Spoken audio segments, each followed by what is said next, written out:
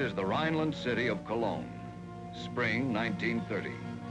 Brisk commerce from France and Belgium and Holland, from the rich Rhineland cities, was flowing through its mammoth station and past it on the river.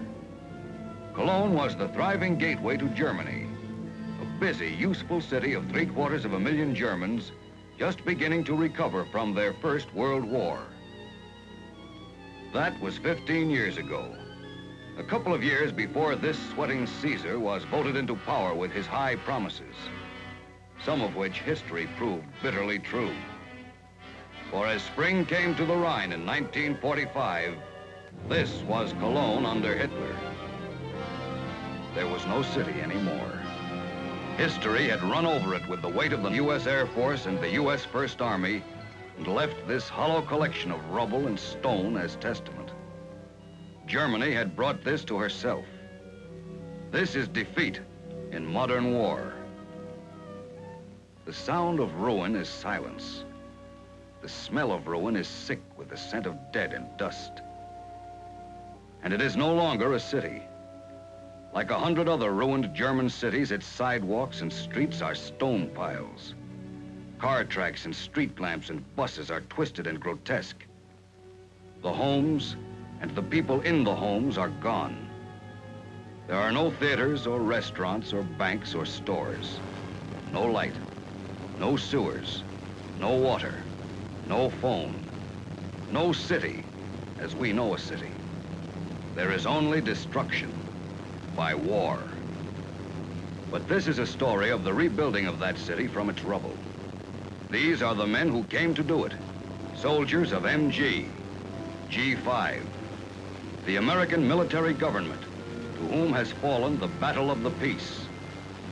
And as the stars and stripes go up, this is the first beginning of that vast occupation army which is clearing up the rubble of a nation today.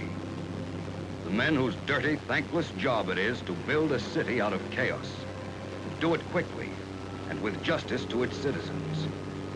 Colonel and lieutenant and PFC alike, they're engineers and lawyers, clerks and cops, specially trained to know this city and how it once worked.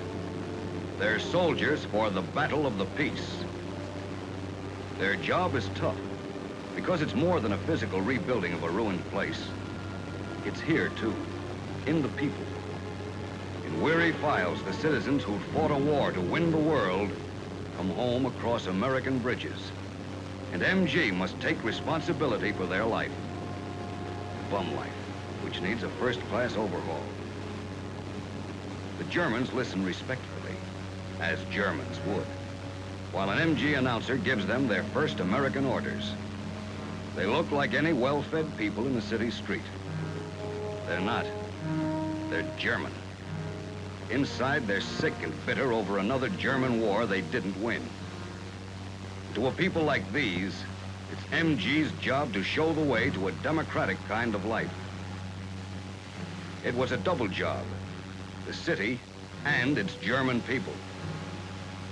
And Germans had been infected a long, long time. DDT killed lice on the bodies of Germans, all of whom MG had ordered to take the treatment. DDT stopped a sweeping typhus epidemic. But it was just one part of the double job. The powder couldn't reach their minds and kill out the infection of their former life. Here's a German with that infection burned into his arm. That's the blood type mark, used only for SS men. Tattooed on his skin for life, as his SS ideas are in his brain for life. He is incurable. It was to catch men like him that MG ordered each German to be stopped and asked for papers.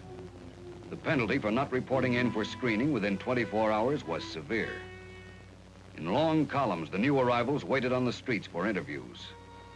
And it would be from them, the fat ones or the thin ones, the butcher and the brewmaster, that MG would have to choose the men who would rebuild and run their ruined city.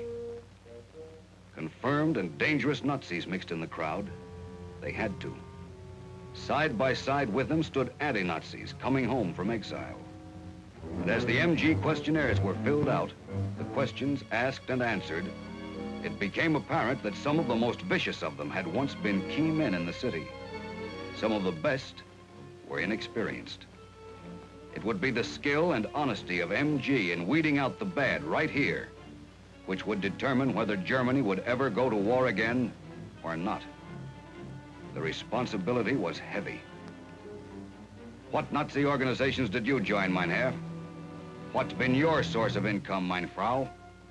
Did you fight the Nazis? If so, how? The job was tough, and the Germans cynical. But very slowly, in the swelling files, trustworthy records began to show up. And from them, MG selected its first police force. Here, an MG interpreter explains its basic functions.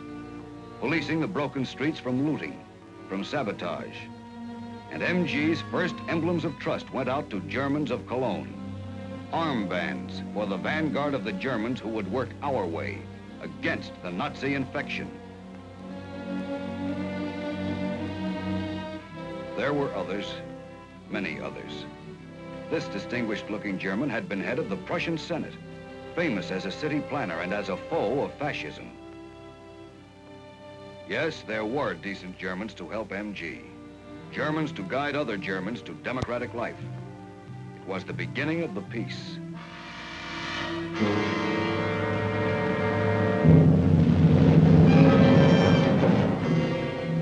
As the old went out, in came the new.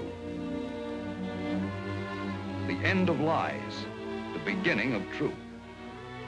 The end of tyranny, the beginnings of a new chance. These were MG's terms of conquest. The rules were tough. They had to be, for the job was tough. And then the job began. There was still no city of Cologne. The hollow buildings menaced Germans and Americans alike. MG's newly restaffed fire department helped, as down they came one by one, until the ruin of the city was complete. And building could begin again, stone by stone. A dirty job, those first months of cleaning up. So MG gave the dirty work to Germans used to dirty work, the Nazis. For the Nazis, whether banker, lawyer, government official, or party gangster, could not be trusted with any other type of work. So this was their job. No matter how much they whined, they couldn't do it. It was MG's double overhaul, the city and the people. MG made it clear to Nazi gripers that if they didn't work, they didn't eat. For one of the most crucial problems of the wrecked city was food. Already 150,000 Germans had come back, and what food came in wasn't enough to feed 30,000. MG's job was not to feed them. It was merely to make sure it was distributed and kept from the black markets. MG told the Germans, feed yourself. Germans did. They had to. Young Germans and old ones, girls and their grandmothers went to work in the fields outside the city. The era of starving other nations to feed Germany was gone. The era of using Polish, Russian, Serbian, and French men and women as slaves in the fields was gone. Some of the former slaves weren't gone, the MG ration system obliged Germans to feed the displaced persons free. It used the same points the Germans had used in Nazi times. But instead of feeding Nazis first, it fed them last. Instead of feeding anti-Nazis last or not at all, it fed them first.